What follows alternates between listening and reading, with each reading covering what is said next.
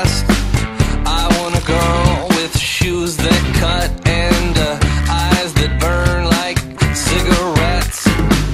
I want a girl with the right allocations who is fast and thorough and sharp as a tack. She's playing with her jewelry, she's putting up her hair, she's touring the facility and picking up slack. I want a girl with a short skirt and a long jacket.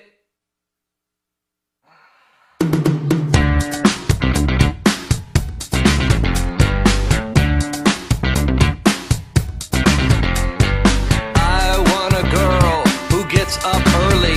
I want a girl who stays up late. I want a girl with uninterrupted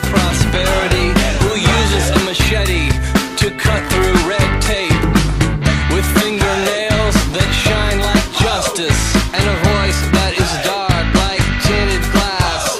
She is fast, thorough, and sharp as a tack. She is